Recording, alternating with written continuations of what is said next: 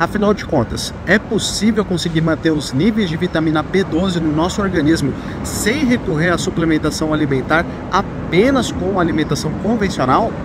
quase todas as vitaminas, sais minerais e macronutrientes são possíveis de serem atingidos apenas na alimentação, sem precisar recorrer a suplementos alimentares. A questão é, será que a gente consegue incluir determinados alimentos todos os dias na nossa rotina alimentar e nas quantidades adequadas? Essa é a grande questão.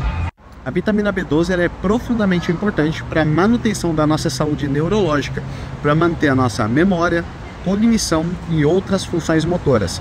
Além disso, ela também é importante para a manutenção da saúde hematológica, para a prevenção de doenças como anemia e, consequentemente, também para evitar queda intensa de cabelo.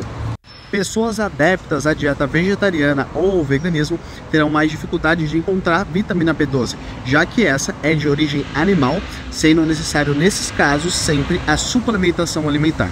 Aqui eu vou deixar cinco alimentos que são altamente ricos em vitamina B12. E você vê se você consegue introduzir esses alimentos com bastante frequência na sua alimentação.